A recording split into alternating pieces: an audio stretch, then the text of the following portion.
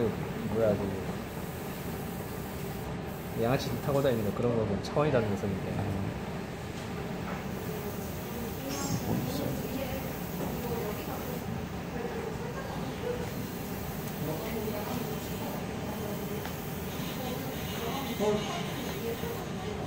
네, 어, 다 끝났네요.